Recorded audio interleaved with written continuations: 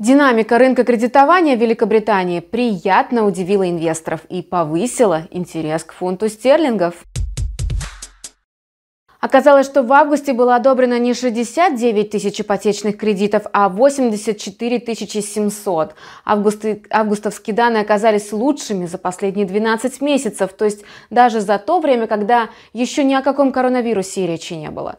Так что британские банки вновь активно выдают ипотечные кредиты. И самым же важным во всем этом является то, что рост кредитования говорит о росте потребительской активности, без чего невозможно говорить о восстановлении экономики. Судя по всему, Посему умеренный оптимизм в отношении европейских валют будет сохраняться до момента публикации предварительных данных по инфляции в Германии, что может намекнуть на содержание завтрашнего отчета по инфляции для всего региона с обращением евро. Что мы видим на графиках? Пара евро-доллар в период минувшего дня сумела на время перебороть нисходящий интерес, в результате чего возникла коррекция в направлении локального максимума от 24 сентября на отметку 1.1686. Участники рынка, как и прежде, находятся ниже границ 7-недельного бокового канала под нижней границей 1.1720, что считается хорошим сигналом для нисходящего развития в среднесрочной перспективе.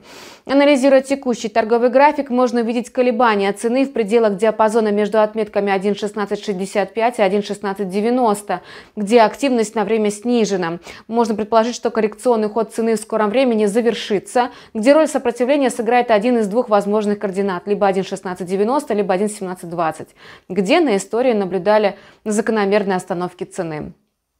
Альтернативный сценарий будет рассматриваться в случае продолжительного удержания цены в районе 1.1720, так как это может привести к наиболее значит, значительному коррекционному уходу вверх э, к отметке 1.1780. Пара фунт-доллар завершила процесс трехдневного накопления активным всплеском длинных позиций, что привело к формированию технической коррекции относительно локального минимума на 1.2674.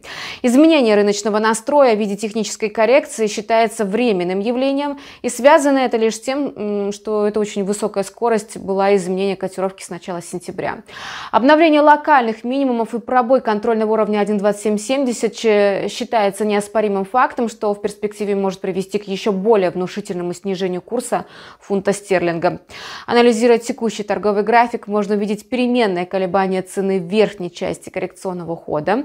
В качестве временных границ служат значения 1.2825, 1.28 1.85 и 1.2910, где для возобновления нисходящего интереса котировки необходимо зафиксироваться ниже, чем 1.2820, и это может привести к движению цены в сторону таких значений, как 1.2770 и 1.2720. В противном случае колебание цены на пике коррекционного хода наверху может затянуться еще на несколько дней. На этом у нас пока все. Мы продолжаем следить за развитием ситуации на финансовых рынках. Подписывайтесь на наш канал и будьте в курсе новостей вместе с нами. До встречи!